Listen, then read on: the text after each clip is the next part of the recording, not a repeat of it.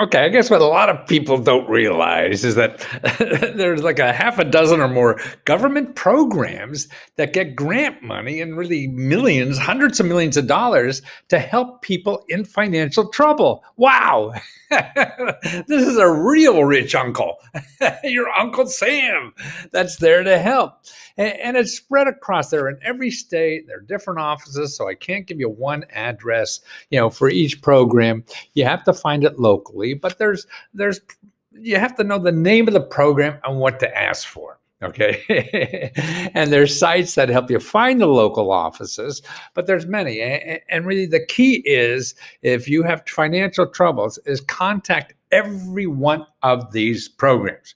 Now, they may or may not help. they may be nice. They may be miserable. They had a miserable day and you call them up and they're going to yell at you.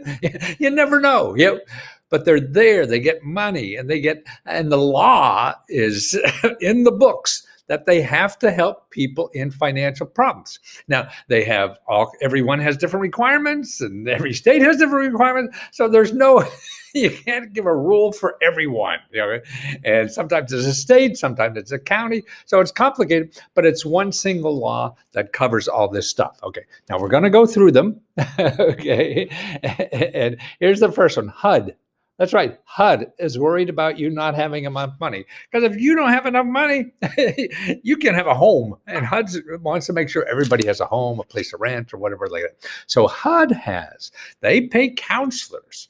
People get grants, these experts about finance, about credit cards, about rent, about mortgages, about buying a house. They get money to help you for free.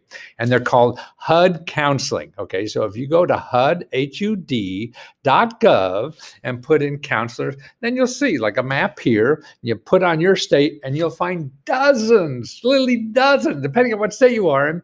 Contact one, contact another, contact three, get five working for you if you have the energy. but call. That's better than just, I mean, if you don't take calls, then you email. You know, you do whatever you have to do. But the, what you have to do is get them to know you. Because if they don't know you, then you're just a digit.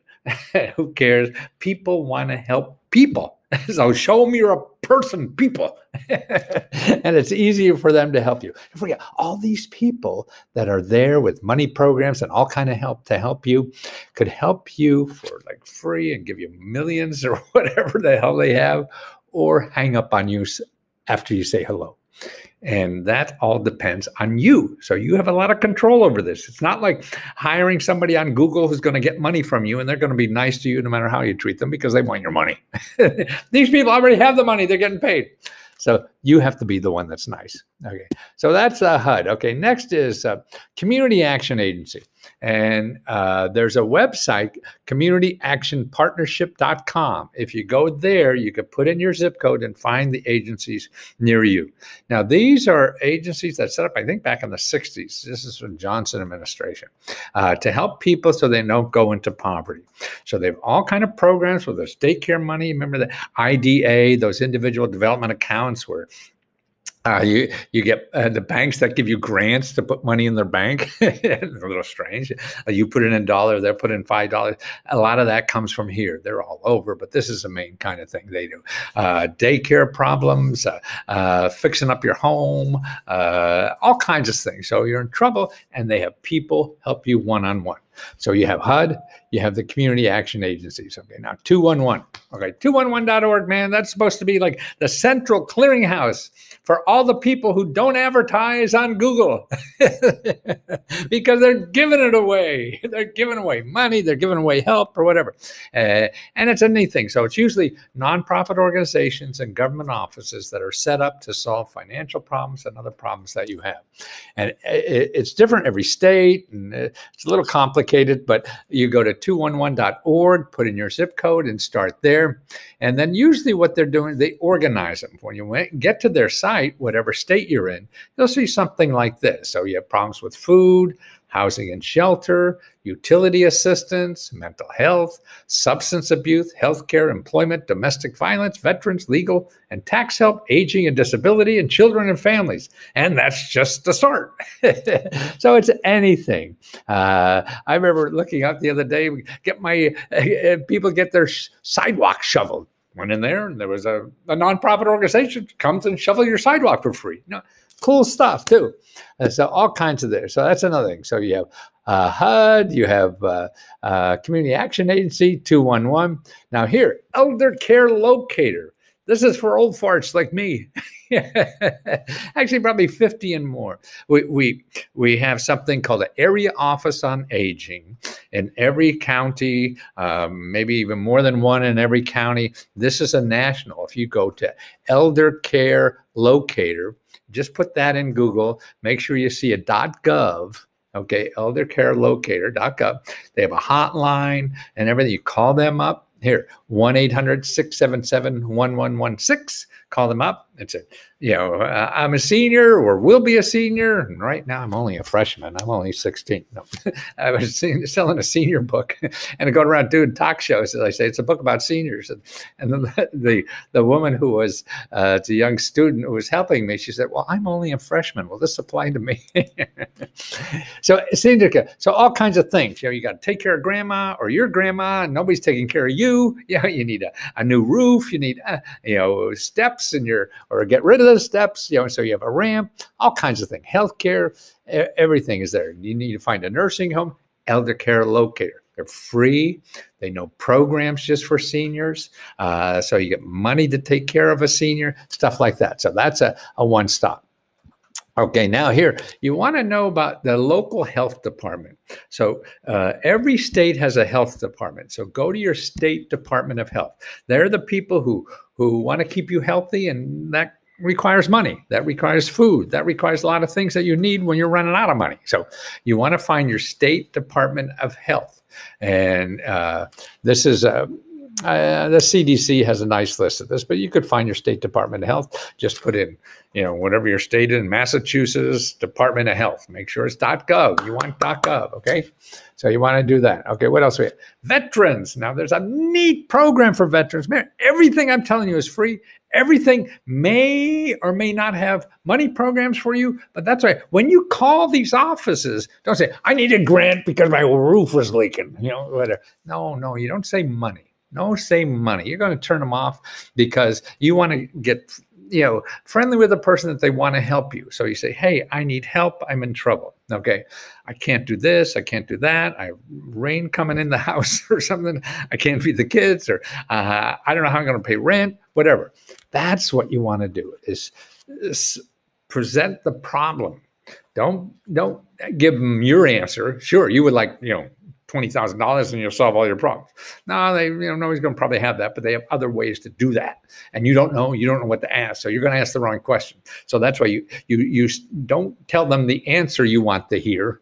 Tell them the problem that you have because there are 100 ways of them. They have people on their staff that come out and fix things for you or whatever. So you don't need a grant to fix it. You know? There's too many ways to do it. I mean, there's ways that they pay, they pay people, you know, uh, to do things. So you don't have to get a grant to sell those things, or they give money to your landlord, so you don't need money to give it. So it's not a grant; it's a transfer payment or whatever. They, the government has names for stuff you could never imagine. So that's why never say, "I need a grant," you know, because you just sound like a greedy son of a bitch. Nobody wants to help greedy people, but you're in trouble, right? And it's hard not to think that way because you you, you you're struggling, and when you're struggling, man, you know, we do crazy things. Uh, and so it's understandable, but try and try to, you know, open your heart a little so they could come in and help you better. And that's what it's about. So you have your uh, Veterans Association, the Association of County Veteran Services. Every county has one of these offices that get grants to help veterans get money. And the studies I've shown, there have been big studies about how well these people do it. They get twice as much money from veterans than anybody else. Okay. So they're really good good at this. They're free and they don't take commission of the money you get from the government as a vet. They do it all for free. So that's where to start. And all these things are just starting places, you know, because they, and then if somebody can help you, say, well, where else can you go? That's the other thing you have to ask these people. Well, where else can I go? You know, so make sure you do. Now, the other thing is your elected official you know that congressmen and the senators and all your state officials that are going to run and knocking on your door for help well you have more power now the next couple weeks before the election than you'll ever have until the next election. they want your vote. They could do a favor. See what it is that the, the elected officials have more power in the system than you or I or anybody else. I mean, we vote, so our tax dollars pay it, but the elected officials vote on the salaries for all the people who are giving away money. so that, that's right. The bureaucrats want to make the elected official happy, not so much you and me. It's the elected official because they vote for their paycheck. Yeah, you and I don't. We vote for the elected official. See, it's sort of the thing going downhill. So that's why they want to help you. And they have different phone numbers. It's easier for them to call a, an agency than it is. You have to wait in the front door. You know, they have backdoor phone numbers to all these places to get things done uh, better and faster than you can. Uh, and you don't even know where the hell to ask. So that's why a lot of their staff, and uh, I think most of it in many offices, all they do is help people with problems. Same with me, but I'm charging you. So get the free one first. so that's your elected official. Uh, and the commoncause.org, go there and you can put in your address and, and you get all the elected officials call them, email them, whatever, call them. one, two, three, four, five. All you have the energy for. Okay. Who's next? Who's next on Sports Call? Okay. This is, uh, well, your job center. And this is uh, workforce development. I used to leave this off uh, this list, but the more I'm running into, they have money to help people, help people with daycare, help people fix your car, all these kinds of things that stop you from working. See, they want you to get a job, okay? Get off the payroll and start paying taxes to pay their salary. so that's what it is. So they have all these other programs besides getting a job, you know, that they are aware of. So the unemployment insurance is there, and then now pandemic employment insurance, you know, and, and the training programs are there, and all this kind of stuff for you to make more money. So if this is, if you're hurting financially, this is a good place uh, to touch base with because they can help you create money or they have other uh, grant programs to help you solve the problems that you're having. You can't you have transportation or or, or whatever it is. You have rent two months and you can't go out and get a job because they're going to throw you on the street right? So those kinds of things. So you go to careeronestop.org and you put find local help. So that's careeronestop.org and find local help.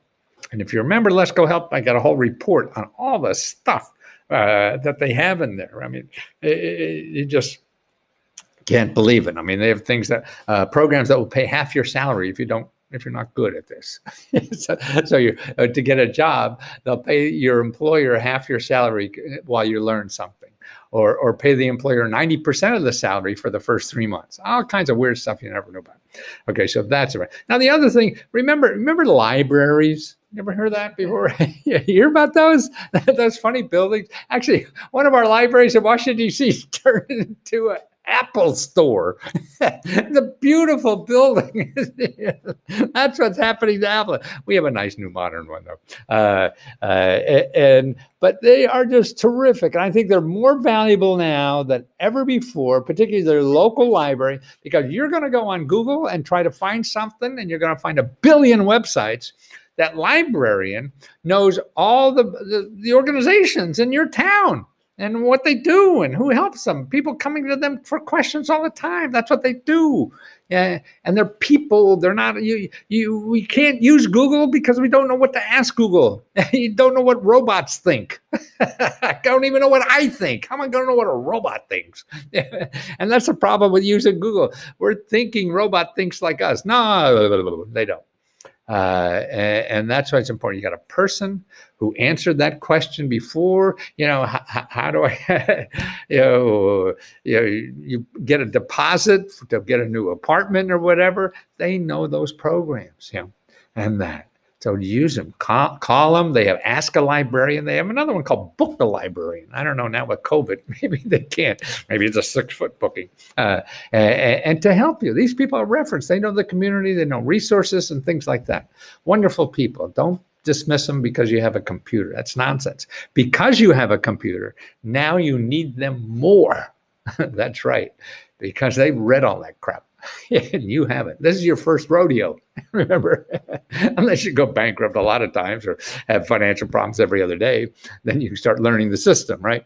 Uh, so they've been helping people who had financial problems all the time because they come to the library and ask questions, so they know where to go. You know, that's what you want to do. You want to know. so you don't want to hire a doctor. This is their first brain surgery, right? You want somebody who's done that a lot of times. Yeah. So it's the same with finding information.